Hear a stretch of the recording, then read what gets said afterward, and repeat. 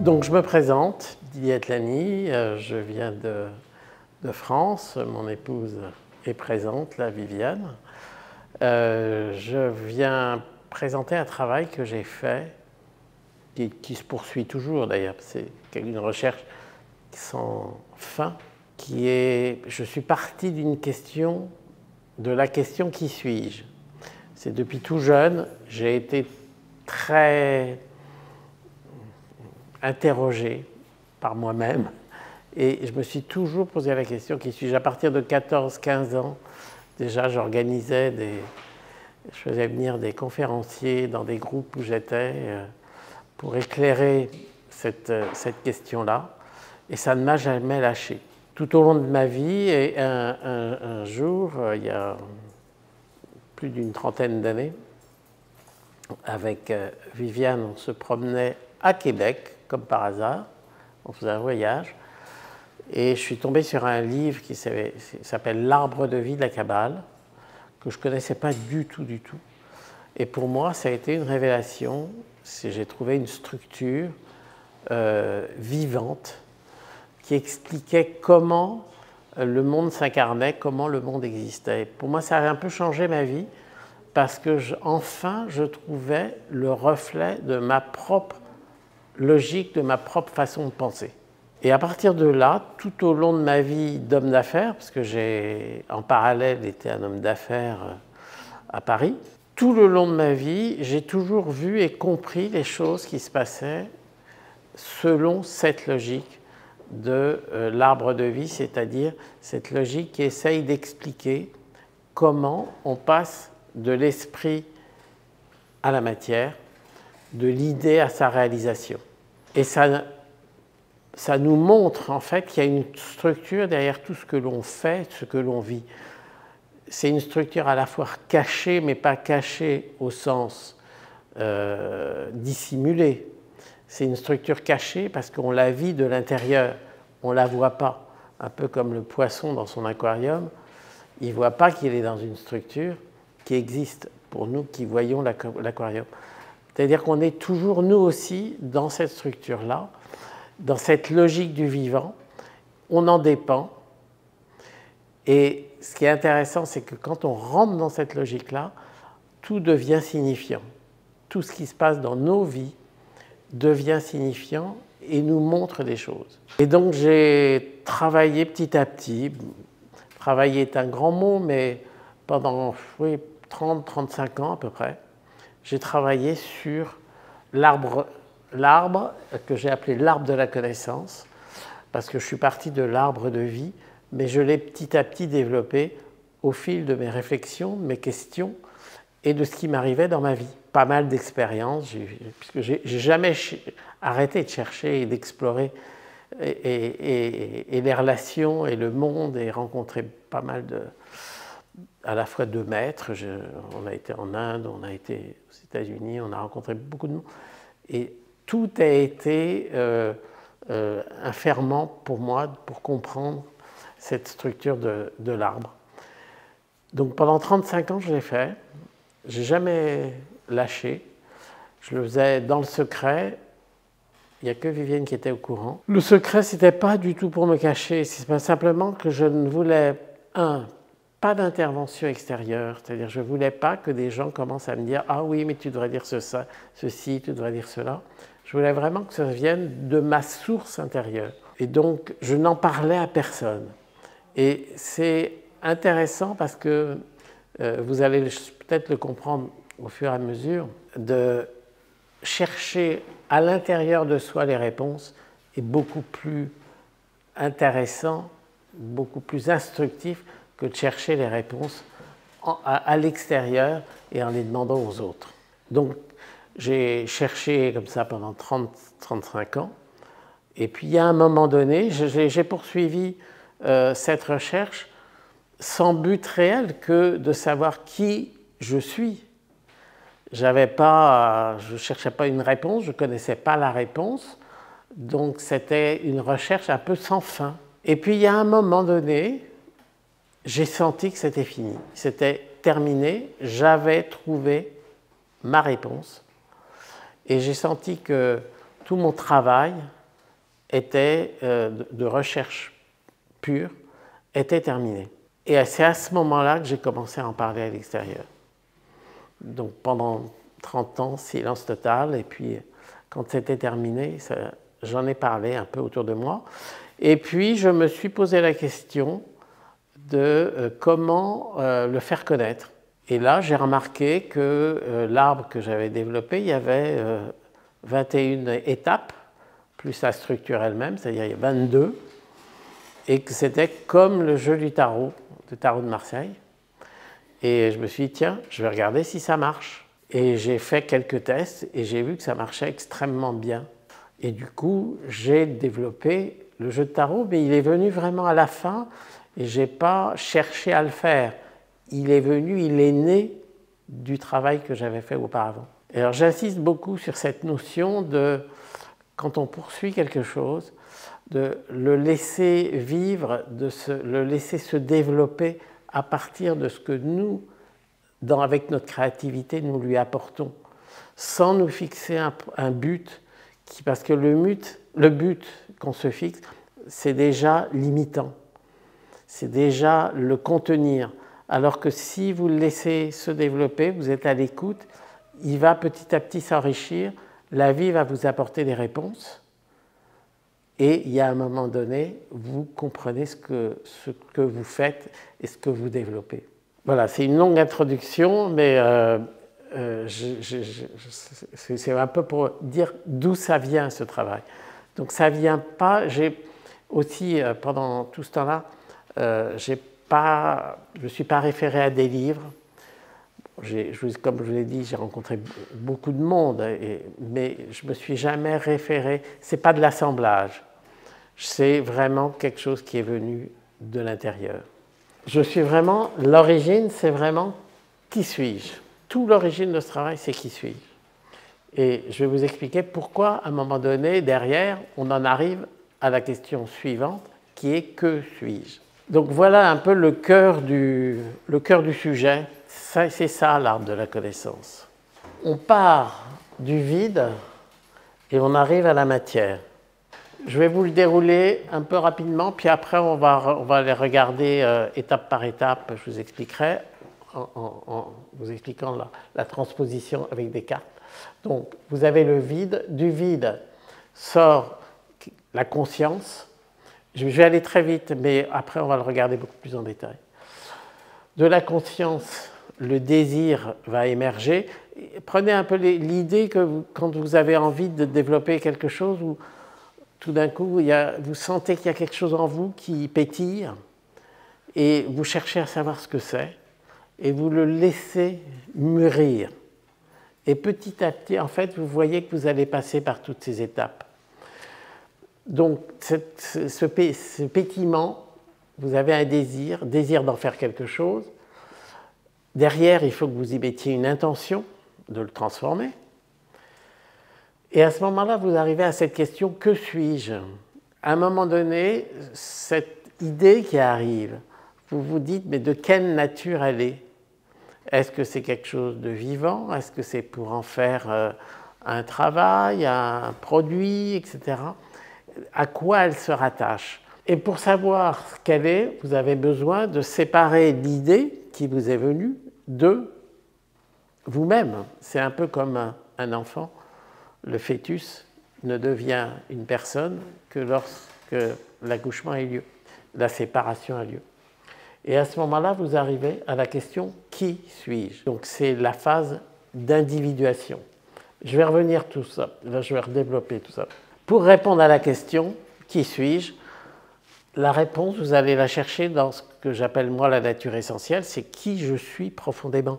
C'est là, vous allez chercher au fond de vous. Vous n'allez pas demander aux autres qui vous êtes. Et on a toutes les ressources en nous.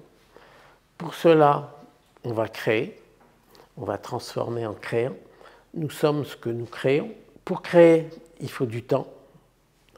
Il y a une notion du temps, d'avenir et à quoi on va se référer.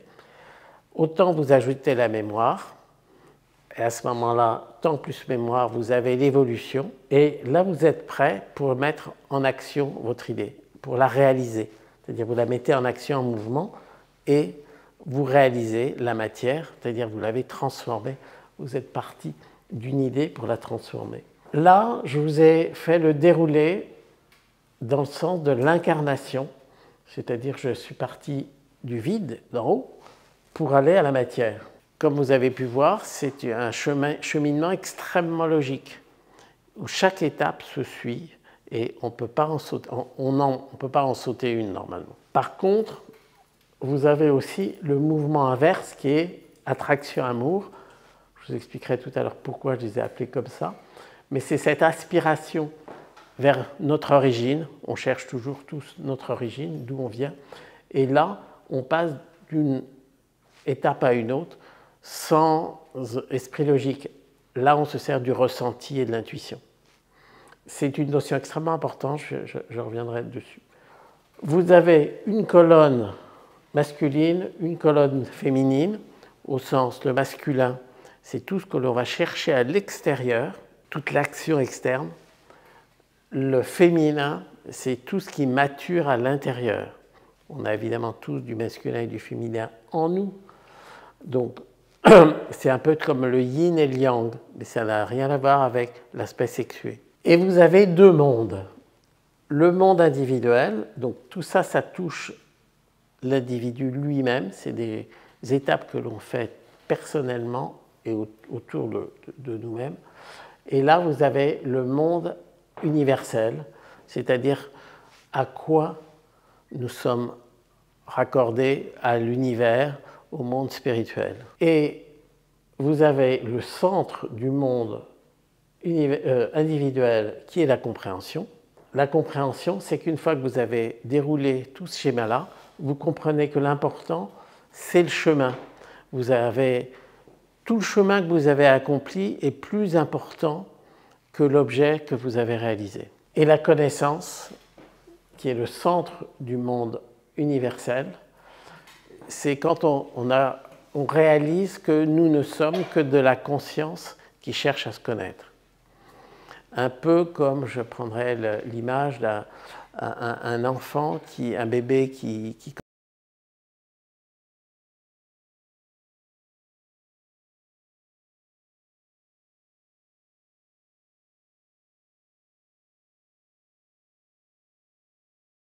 devenir un humain marchand. Il cherche à pousser la limite pour savoir ce qu'il est. Donc ça, c'est le, cœur de l'arbre. Et donc, je l'ai transposé après, donc, avec des cartes. Donc, c'est exactement la même chose. Simplement, les cartes, euh, donc, ce sont des illustrations. Et on va les regarder. Les illustrations ne sont pas, sont pas neutres. Hein. Euh, je les ai décidées pour que ça évoque à chacun d'entre nous qui la regardons, que ça évoque le sujet de la carte. Donc, je reprends là maintenant, je vais un peu détailler. Donc, la première carte, c'est le vide. Donc là, je vous ai mis à chaque fois l'ensemble parce que je pense que c'est important de regarder la carte.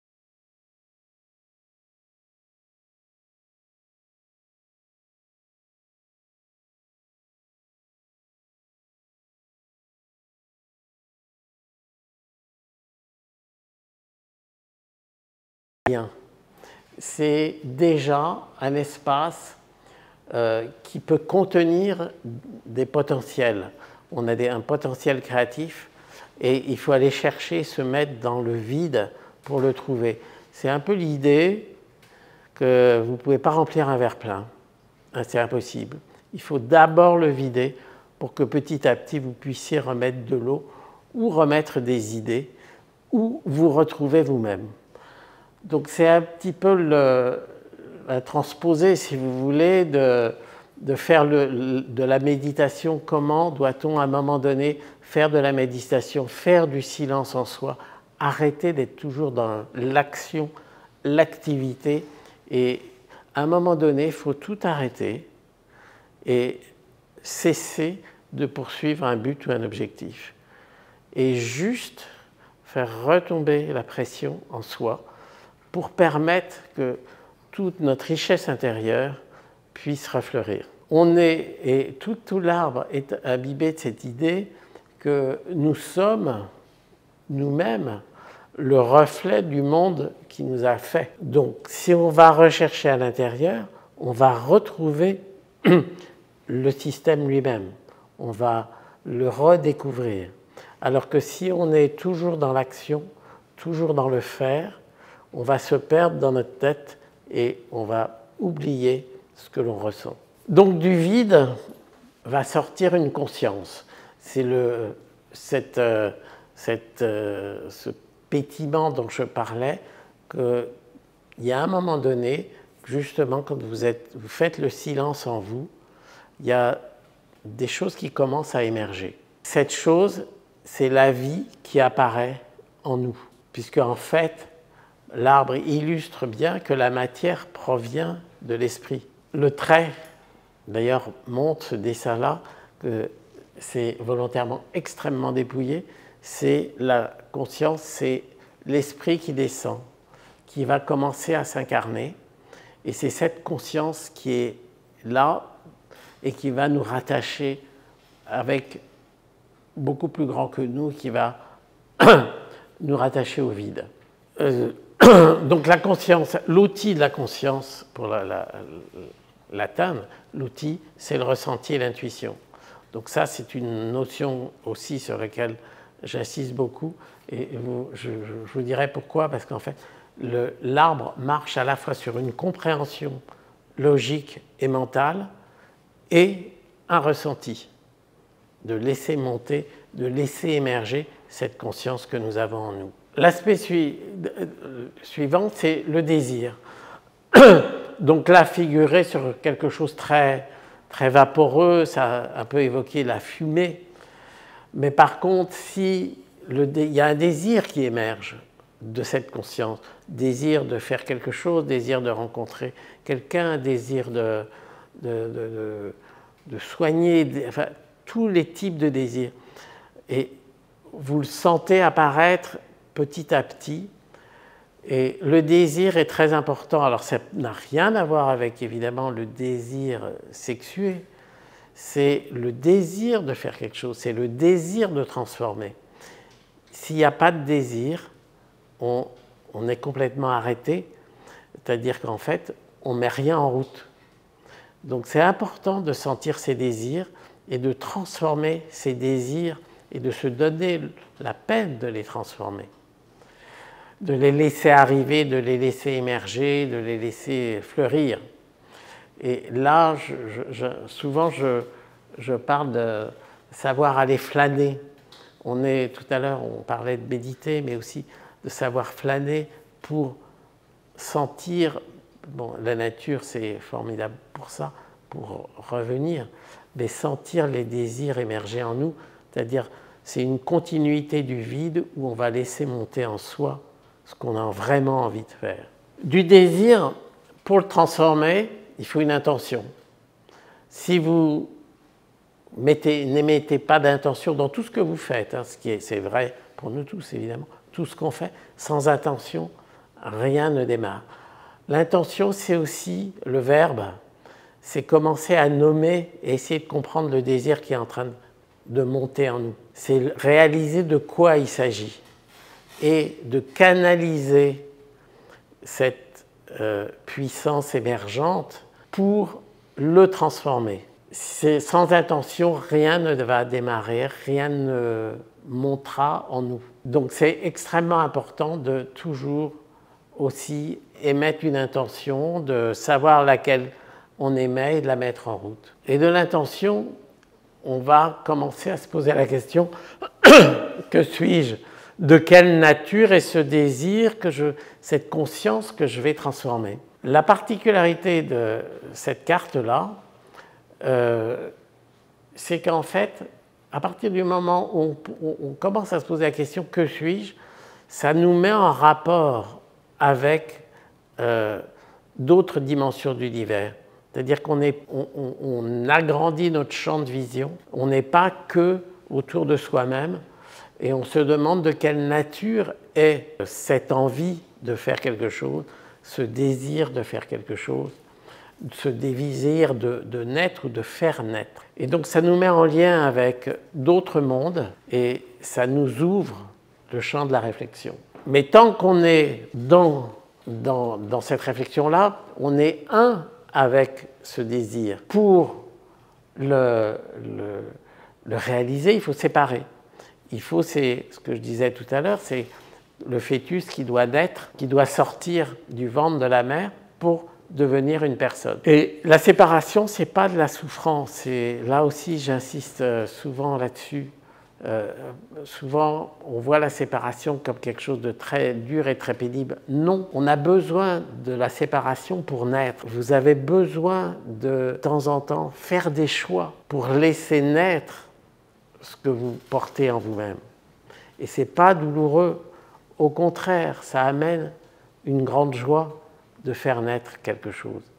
Donc ce dessin, c'est la division cellulaire, hein, tout le monde, je pense, l'a reconnu. Euh, c'est la cellule qui se divise pour laisser naître une nouvelle cellule. Et on arrive enfin à la question qui suis-je? C'est-à-dire là, pour l'instant, tout le parcours qu'on a fait s'est situé dans un monde universel. C'est-à-dire que c'était absolument pas euh, personnalisé. C'était pas individué. Donc là, pour l'instant, tout, ce que j'ai expliqué, c'est que des notions qui sont beaucoup plus générales, plus globales, qui sont vraiment universelles, qui se trouvent dans l'univers que nous avons tous. C'est le monde universel et également le monde spirituel, hein, qu'on peut nommer aussi monde spirituel. Là, je fais juste une petite euh, digression. Spirituel n'est pas religieux. Je fais une grosse différence entre le monde spirituel et le monde religieux. Le monde spirituel, c'est l'univers et la source c'est la, puissance créatrice, c'est le créateur de l'univers et du monde. La religion est, sont, les religions sont les rites qui euh, euh, montrent, entretiennent et font prendre conscience qu'il y a un univers et une puissance créatrice. C'est un peu, pour moi, un peu la même chose que euh, l'habit et la personne. Donc je fais une très grosse différence entre spirituel et religieuse, ça n'a rien à voir. Je ne parle pas du tout de religion. Par contre, je parle beaucoup de spiritualité et de monde spirituel. Donc cet univers-là, monde universel, c'est effectivement le monde spirituel. Et toutes les étapes qu'on a vues là, c'était dans le monde spirituel. Et là, on arrive à l'étape qui suis-je? C'est l'étape où, après la naissance, l'individu naît. C'est l'individuation au sens de Jung. Euh, donc au sens euh, psychanalytique, je dirais. C'est là où on devient une idée, une personne, euh, un être vivant, mais qui est personnel.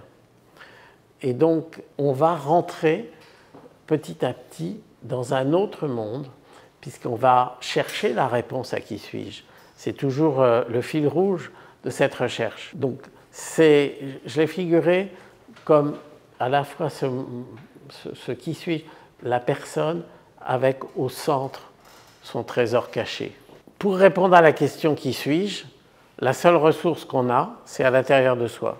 C'est pas dehors, personne ne vous répondra qui vous êtes. Par contre, euh, vous allez creuser à l'intérieur de vous et avec le ressenti et l'intuition, vous allez trouver les réponses personne d'autre ne vous dira qui vous êtes, jamais. Donc, cette euh, carte-là, c'est ce que j'ai appelé la nature essentielle, c'est la ressource que nous avons tous pour savoir qui nous sommes. Et pour ce savoir, il faut créer. On en arrive à le stade où il faut créer. Nous sommes ce que nous créons. Nous ne sommes pas ce que nous pensons. Donc il faut passer au stade de création. J'ai figuré ça avec un dessin très simple, c'est une croix simplement. Simplement deux traits très différents et ça devient une création. Créer n'est pas euh, réservé aux artistes. On peut créer tout, tout le temps et à tout moment. Donc c'est extrêmement important la créativité que nous avons parce que nous sommes des êtres, nous sommes des transformateurs d'une certaine façon.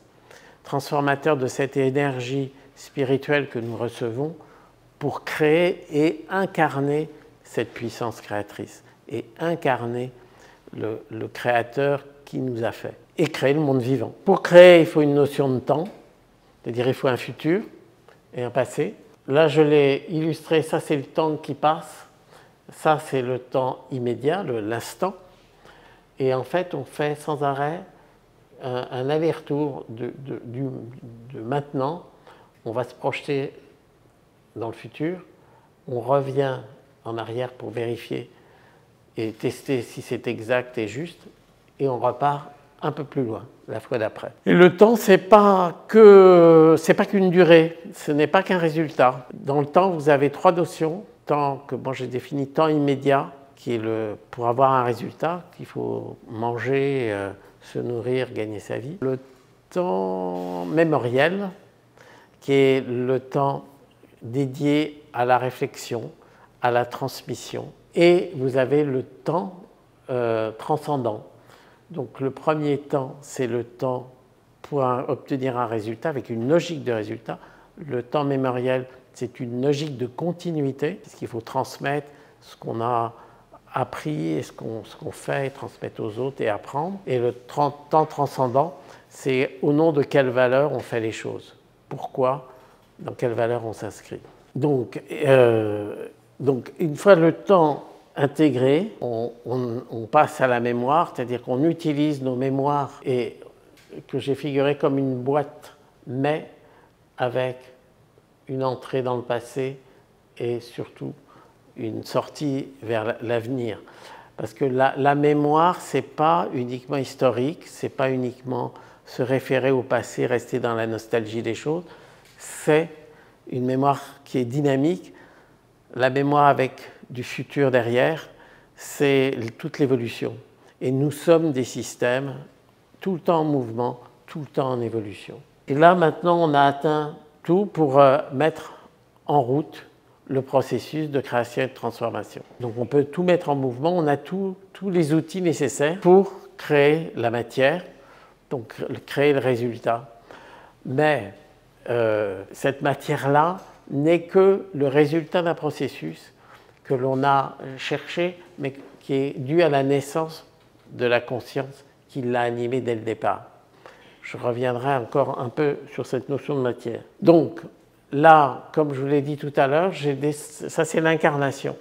C'est-à-dire, on passe de l'esprit à la matière, en passant par toutes les étapes que je vous ai défilées, et toutes ces étapes sont extrêmement logiques, les unes derrière les autres on ne peut quasiment pas en sauter. Par contre, l'autre mouvement, donc qui est l'attraction, c'est-à-dire on peut passer d'une étape à une autre. Là, on saute, on peut très bien prendre, avoir des, prises de conscience, passer de la mémoire à que suis-je ou du temps à, la séparation. Ça, euh, ce cheminement-là se fait uniquement par le ressenti et l'intuition. Ça, pour euh, euh, vous expliquer, je suis resté pendant deux ans sur la question parce que j'avais remarqué, une fois que j'avais développé ça, je me suis dit c'est curieux, il y a l'incarnation qui est extrêmement logique. Par contre, euh, l'attraction, il n'y a aucune logique dedans. Et j'ai mis deux ans à comprendre parce qu'au début, je me suis dit bon, tiens, c'est curieux. Et au bout de deux ans, je me suis dit ah, mais ça y est, j'ai compris c'est parce que nous sommes dans un, alors je dirais depuis 500 ans, puisqu'en fait on est dans un paradigme euh, de logique depuis Descartes. C'est-à-dire qu'on est dans un système où la logique est mise en avant. On est cartésien. Et donc on a développé, mais le système vivant a des phases les unes derrière les autres. Donc on a développé quelque chose que nous avions déjà en nous. L'ennui, c'est qu'on l'a développé peut-être à outrance. D'ailleurs, on arrive un peu à la fin de cette période euh, euh, de fin de paradigme, et où on a développé que la logique et tout ce qui était intuitif était rejeté. Bon, je ne parle pas au niveau euh, médical, au niveau économique, dès que c'était une réflexion intuitive, euh, ou ressenti, euh, c'était systématiquement éliminé. Et là maintenant, on se rend compte que le monde est en train de changer, de basculer.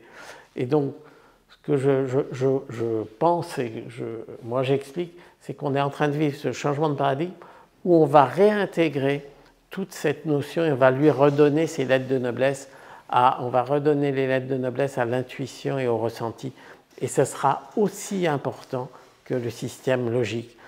Einstein lui-même hein, l'a dit euh, que pour lui, sa, grande formule E égale mc2, ça a été d'abord une intuition, puis après il l'a démontré. Donc on va, on rentre, on est en train d'être dans un changement de période, changement de paradigme, et le, système euh, logique, bon, on voit qu'on est au bout, qu'il arrive à des systèmes où les mondes sont un peu en train de s'écrouler, et on se rend compte qu'il y a d'autres systèmes qui, naissent, notamment bon, avec le numérique, qui a une transformation de la société. Euh, absolument gigantesque et extrêmement rapide. Et puis on tient compte maintenant d'autres systèmes euh, médicaux, euh, d'autres systèmes de façon de se soigner, etc. Donc, cette, cette, attraction est très importante. Donc, l'attraction, c'est vraiment, on cherche tous notre origine.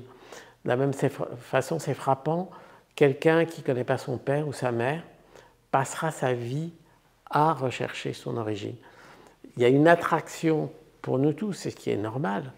On cherche à savoir d'où on vient, pourquoi on vient, et c'est un lien avec, c'est notre lien avec l'univers. Alors j'ai appelé ça attraction et amour parce que l'amour c'est la même chose. C'est l'attraction par la fusion avec un être. Juste, euh, j'attire juste votre attention sur l'amour avec un autre être, c'est la fusion. Mais si c'est la fusion de soi en lui, c'est un détournement d'attraction de soi-même. Euh, ce qui est intéressant, c'est l'amour pour fusionner vers cette aspiration à plus grand que soi. L'autre étape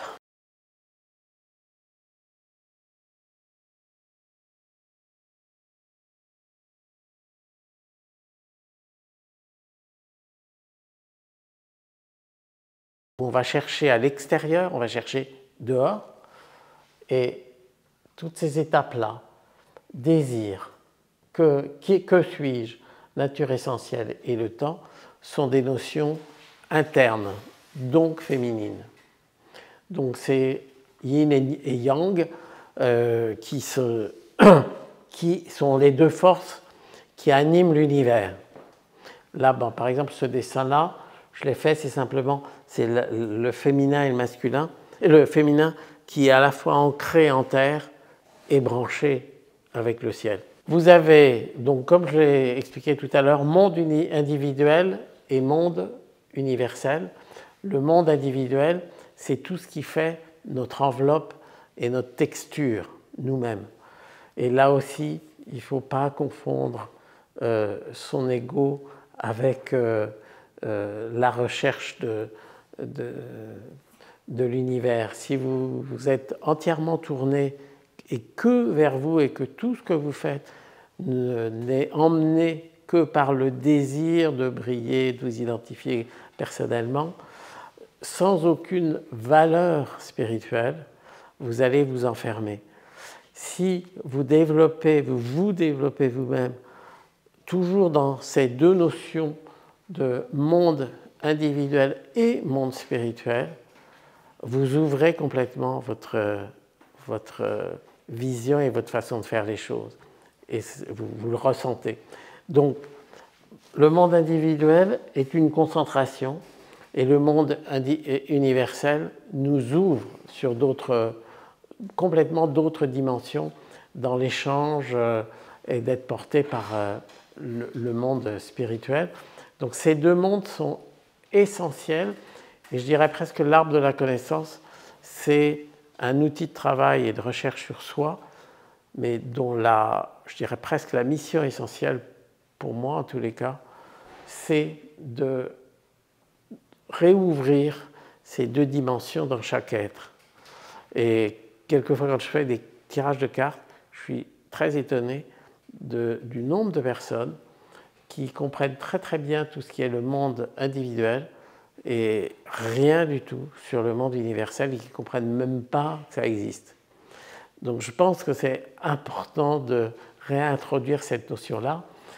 qui a été normalement qui était dédié au monde religieux, mais bon, les mondes religieux sont plus ou moins euh, délaissés, et donc il y a quand même un manque réel euh, de développer cette, les valeurs du monde spirituel. Et on en arrive aux deux dernières cartes qui sont les centres. Donc la compréhension, c'est le centre du monde individuel, et après on verra justement la dernière carte qui est la compréhension.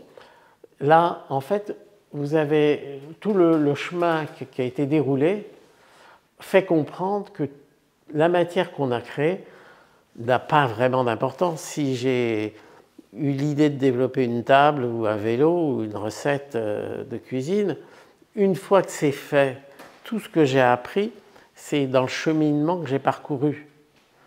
C'est tout le travail que j'ai fait d'exploration, de création, de réflexion, d'échange. C'est ça qui m'a appris et qui m'a transformé. Une fois que c'est fait, on peut l'abandonner et on va passer à autre chose.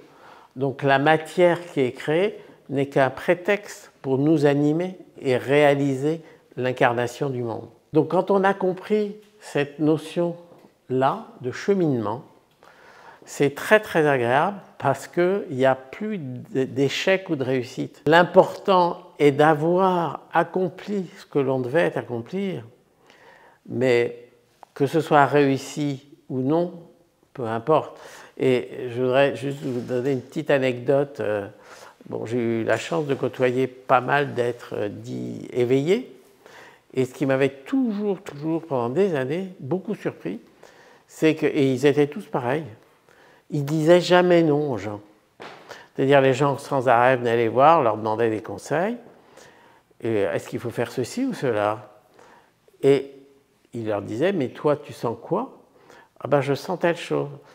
Fais-le, fais-le absolument, vas-y, etc. Et tout le temps, j'ai jamais, j'ai ici euh, une fois, Yvan Amar, je leur entendu dire non à quelqu'un, ne fais pas ça. Mais sinon, jamais. Et quelquefois, dans la même journée, je l'entendais, comme j'étais assez proche de lui, je l'entendais dire deux choses dans deux directions différentes à des gens différents. Je ne comprenais pas. Jusqu'au jour, effectivement, j'ai compris l'important, c'était que la personne s'investisse à fond dedans et le fasse. Le résultat n'avait aucune espèce d'importance. Donc tous les gens éveillés, les maîtres, vous poussent à accomplir, à mettre en route vos actions. Mais ils ne se préoccupent jamais du résultat. Donc c'est exactement l'illustration de cette carte-là. Et la dernière carte, c'est la connaissance. Ça, c'est vraiment le, le, trésor caché qu'on a en nous, qui est qu'une fois que vous avez vu ce déroulement-là, vous avez vu que nous sommes de la conscience qui cherche à se connaître, qui cherche jusqu'où elle peut aller, qu'est-ce qu'elle peut faire. Et c'est un processus sans fin. C'est-à-dire, ce n'est pas une connaissance qui va dire je vais arriver, je vais faire telle chose.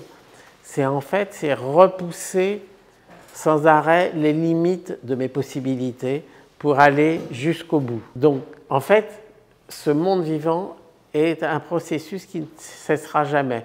Peut-être il s'écroulera un jour, mais nous sommes cela. Et nous sommes l'incarnation de cela.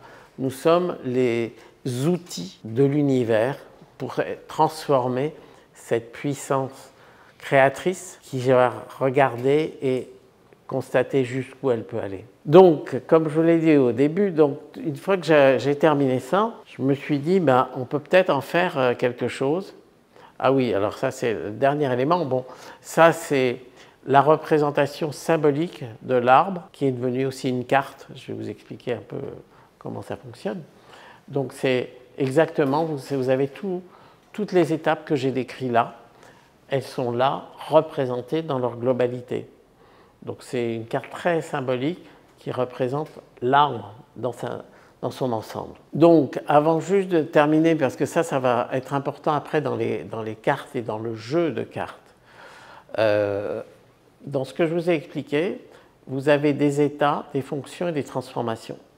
Les états, c'est tout ce qui est contenu dans le monde universel et dans le monde individuel. C'est des états, je dirais pas statiques, mais c'est des états naturels.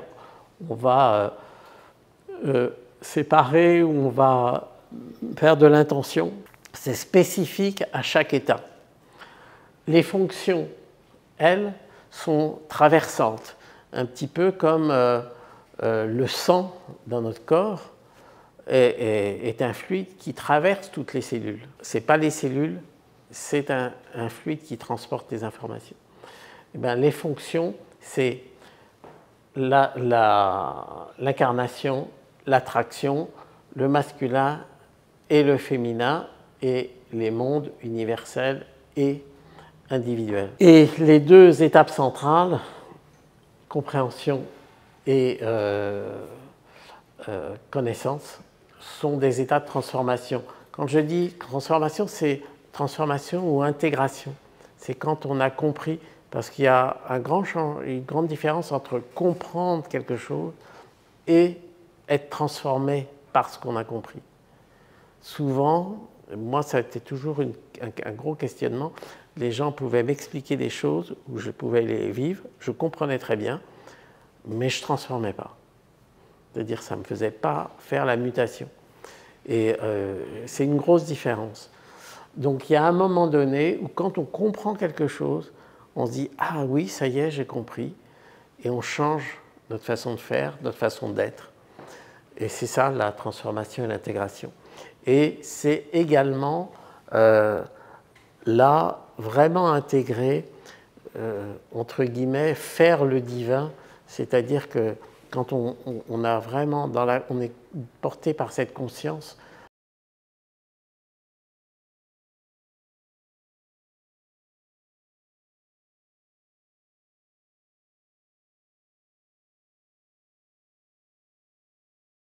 Je ne sais pas si c'est clair ce que je, viens de dire, mais euh, il y a un moment donné, euh, on est presque plus le représentant de nous-mêmes, on est le représentant de cette puissance-là qui transforme.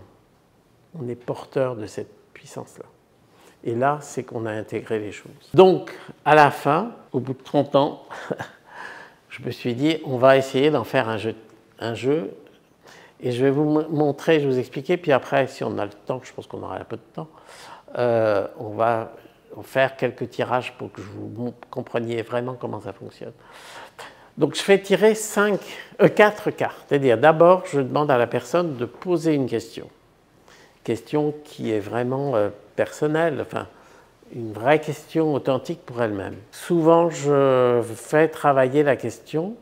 Je vous le dis parce que si vous utilisez cartes, vous aurez à faire ce, cheminement. Je fais souvent travailler la question parce que très couramment, les questions posées sont des questions fermées ou des questions est-ce qu'il faut faire ceci ou cela? Euh, Les cartes, elles ne vous répondent pas deux choses à la même fois, il faut que ce soit clair. C'est est-ce que je veux euh, changer de métier? Est-ce que je veux aller voyager Enfin, peu importe. Mais est-ce que je veux aller voyager ou me marier C'est pas possible. Donc, il faut travailler bien la question pour qu'elle soit très claire. La réponse sera d'autant plus claire que la question sera claire. Donc, première étape, quelle question? Et travailler la question. Donc ensuite, je demande à la personne de prendre les cartes, de les bien les mélanger en pensant à la question qu'elle va poser euh, pour euh, l'imbiber de façon vibratoire de, sa, de, euh, de ce qu'il est, de, ce qu'elle est, de, ce qu'elle porte. Et je vais faire tirer quatre cartes. Et chaque carte a une fonction. Et ça, c'est important, je vais comprendre pourquoi. Donc, première carte tirée, elle représente la question au niveau apparent, au niveau où elle a été posée. C'est-à-dire, c'est le mental qui pose la question. Et on va regarder si la carte tirée est en adéquation avec la question posée. La deuxième carte tirée, donc c'est le mental, hein, première. La deuxième, elle représente la question cachée. Question cachée parce qu'on a, toujours une question cachée derrière nous-mêmes, donc derrière la question apparente. Euh, c'est qu'est-ce qui se joue réellement derrière. Et donc ça, ça représente l'inconscient, donc mental, inconscient. La troisième carte tirée représente la solution c'est-à-dire la réponse à la question qui a été posée. Et la quatrième carte représente vers quoi ça nous emmènera si on applique la solution proposée. Ce que je fais toujours, j'explique la fonction des cartes au moment du tirage. Parce que je me suis rendu compte au début, je ne le faisais absolument pas, et je me suis rendu compte euh, euh, en le faisant que ça avait une influence quand les gens savaient la fonction de la carte. J'ai cherché à savoir et à comprendre pourquoi. Bon, là, je me suis rapproché, j'ai fait un petit stage sur la, la physique quantique. Donc, la physique quantique qui, grosso modo, parle de, systèmes vibratoires, que nous ne sommes que des systèmes vibratoires et qu'on rentre sans arrêt en, écho les uns les autres, et que, par exemple, quand euh, en physique, un observateur commence à observer quelque chose, il influence la chose observée. En fait, c'est exactement, c'est pareil. Je pense, et moi j'explique ça comme ça, parce que je me suis rendu compte ça changeait les choses, ça changeait la façon de tirer. Donc j'annonce systématiquement ce que c'est. Ah, les gens ne savent pas quelle carte ils choisissent, évidemment, mais ils savent la fonction qu'il y a là. Et donc, je fais ça, et à la... après, je rajoute une carte qui est calculée, la carte au centre, c'est-à-dire, vous avez vu que chaque carte a un, nombre, un chiffre. J'additionne les chiffres jusqu'à donc 21, euh, et puis après, vous additionnez les, la, dizaine et l'unité. Quand c'est par exemple 44, euh, bon, ça fait la carte 8, 4 plus 4. Hein. Et cette carte-là, ce sera la synthèse du, tirage, la coloration du tirage. Et ça, c'est vraiment très très important de, rentrer là-dedans parce que euh, euh, ce, système de cartes-là n'est pas divinatoire. Ça, j'insiste vraiment beaucoup. D'ailleurs, je, ne vais jamais dans des systèmes, dans des salons de, divination. Ce n'est pas du tout divinatoire. Ce n'est pas divinatoire pour quelle raison? En fait, quand vous retournez une carte, vous avez la question qui a été posée, vous avez la fonction de la carte et vous avez la structure qui est derrière. Ça vous donne trois directions. Ça fait une triangulation. Et une triangulation vous permet d'arriver à un point assez précis. C'est exactement la même chose. Bon, moi, je suis marin par plaisir, j'ai beaucoup navigué. Quand on fait un point au sextant, c'est la même chose. On fait une triangulation par les angles pour savoir où on est. pour moi, c'est exactement pareil. Et c'est comme ça que je peux répondre et je puis faire une lecture des cartes. Donc j'insiste vraiment là-dessus. Ce n'est pas un outil de divination, c'est un outil de recherche et de travail sur soi-même et qui est pas mathématique parce que forcément l'intuition euh, euh, joue aussi, mais elle est, elle est basée sur une structure qui décrit le système vivant. C'est pour ça que ça marche. Voilà, donc là je vous ai fait l'exposé, ça a duré une heure, été un peu long, je m'excuse. Je vous proposerai de faire un ou deux tirages, on verra. Euh, sachant que les, tirages en public, c'est toujours un peu risqué parce que euh, à la fois la personne et moi ne peut pas toujours aller à un niveau très intime puisque c'est public. Comment faire aboutir le projet spirituel que j'ai avec un ami? Question 2. Donc vous voyez, je les mets en croix, exactement comme je vous ai montré sur le, sur le tableau. J'ai l'impression d'être un peu un magicien qui fait un tour. Il y a même Juste un éclaircissement sur la question. Quand vous posez la question comment faire évoluer le projet spirituel, euh, ça met en cause, c'est votre ami, c'est surtout ça. En fait, comment faire pour euh, et faire évoluer votre ami et que le projet spirituel se développe. C'est, plus, c'est ça. D'accord. Moi, j'ai un désir que le projet, que le projet aboutisse. Se, matérialise. D'accord. Bon, première carte. Le temps. Donc, euh, vous devez être un peu impatiente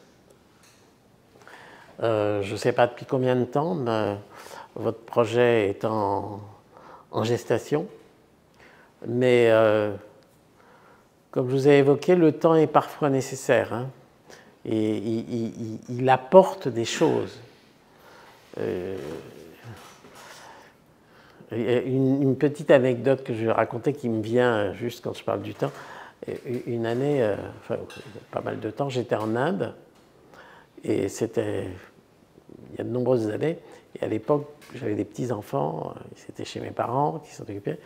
Et donc, je téléphonais tous les deux jours pour avoir des nouvelles.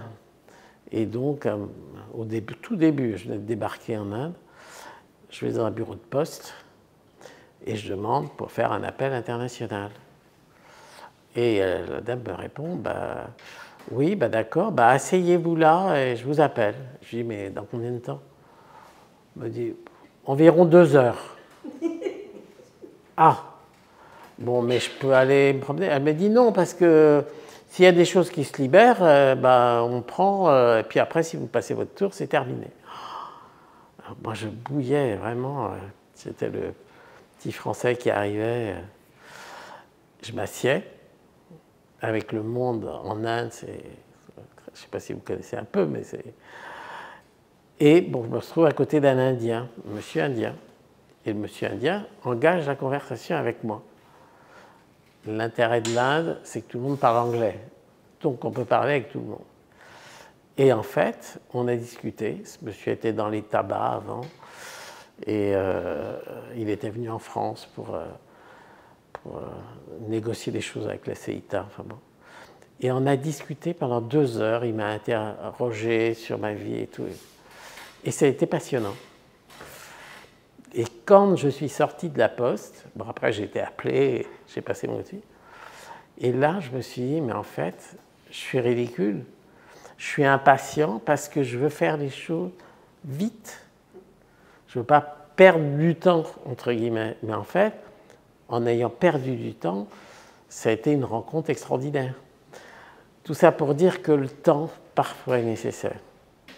Et qu'il faut peut-être pas toujours être impatient, mais que le temps qui se déroule peut apporter aussi des choses et un enseignement. Voilà, c'est une anecdote qui m'a traversé l'esprit, j'avais envie de vous la raconter. Bon, euh, deuxième carte. Donc là, c'est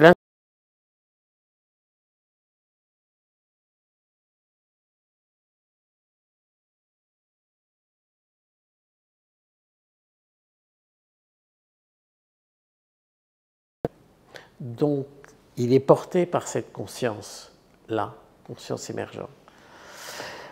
Euh, là aussi, vous êtes en adéquation avec, euh, avec le projet lui-même. Euh, pour moi, là, je ne sais pas, ce que je sens, c'est qu'il y a peut-être un hiatus entre vous et votre ami. Est-ce que pour lui, il est très clair que ce projet a une dimension spirituelle Voilà, je ne sais pas, mais je, me pose la question en voyant cette carte arriver. Est-ce que pour lui c'est vraiment porteur D'accord. Bon. Parce que c'est bon, essentiel dans ce que vous dites et votre inconscient est là pour le témoigner. Alors, quelle solution est proposée? L'incarnation. Donc l'incarnation, c'est toute la descente de l'esprit à la matière. Donc c'est en fait incarner cette conscience émergente. Donc votre, je dirais, ce que les cartes auraient tendance à, évoquer, c'est que votre projet, il faudrait peut-être euh, descendre dans la le processus de réalisation et d'incarnation, de travailler sur comment le réaliser, mais de façon très euh, matérielle, je dirais, de commencer à écrire ou de rentrer dans le processus d'incarnation que vous portez de conscience émergente. En tous les cas, là, il va falloir rentrer dans la pratique, alors, pour vous et pour lui. Mais bon, l'écrire est une chose, Euh, après, le rendre possible, c'est autre chose. Est-ce que vous êtes aussi descendu dans, ce, dans le détail des opérations pour le réaliser? D'accord. Bah, donc ça, on va, on va voir la suite. Hein. Donc, encore le masculin qui sort. Donc là, c'est vers quoi ça, vous, ça va vous amener? Donc, réalisation extérieure. Donc, a priori, vous allez le réaliser, effectivement. Euh, mais en fait, votre question, c'était qu'est-ce qu'il faut faire? Qu'est-ce qu'il faut que j'engage de plus? Qu'est-ce que je dois engager de plus? Oui, mais ça, c'est peut-être pas, c'est peut-être pas tout à fait juste. C'est, c'est, pourquoi vous le faites pour son rêve à lui? Pourquoi c'est pas votre rêve à vous? Donc vous êtes, euh, vous êtes sa cheville ouvrière. Oui, mais je suis bien là-dedans. D'accord. Parce que mon travail implique la recherche, la traduction, l'écriture, euh, oui, ben, là, de toute façon, ça vous répond, il faut incarner, donc il faut mettre en route euh, de façon très pratique. Donc il n'y a plus à attendre. Mettez en route, vous verrez bien s'il suit ou non. Mais mettez en route. C'est ce que les cartes vous répondent. Et là, ça vous emmènera dans euh, effectivement une force masculine, c'est-à-dire vous allez aller de l'avant. Vous allez, euh, ce ne sera plus des études pour euh, savoir comment développer le projet, c'est vraiment le mettre en route. Donc là, les cartes là vous disent ça. moi, je ne peux pas en dire plus parce que je dirais peut-être non. Bon, on va voir encore là. Alors la dernière. Donc 14 plus 10, 24 plus 16, 40. 24, attendez, 24, 40, oui. J'ai dit combien? Oui. Ah oui. 40 plus 2, 42. 4 et 2, 6. Donc, on va chercher la 6. Pardon, séparé. Séparé. Donc là, là il y a, je dirais il y a deux choses. Hein. On peut voir deux choses. Euh, l'enfantement, comme vous dites, c'est donner naissance, c'est-à-dire euh, il faut que vous lui donniez naissance. Euh, et il y a aussi, quand je dis deux choses, parce que je, depuis le début, je sens comme un petit hiatus avec votre ami. Euh, est-ce qu'il ne faut pas séparer les choses avec votre ami? Je sais, là, la carte peut être interprétée de deux façons. C'est-à-dire, vous voyez, c'est euh, là, moi-même, je ne peux pas vous dire, euh, bon, mais ça, c'est la synthèse. Vous, votre travail à faire, c'est rentrer dans le, dans le dur, mettre en route le projet. La synthèse, ce sera soit ça va donner naissance, soit ça peut donner naissance et séparer euh, du projet avec votre ami. C'est-à-dire vous allez peut-être devoir le porter seul. Mais ça, c'est une synthèse de, l'ensemble. Ça vous va? Oui. Merci bien.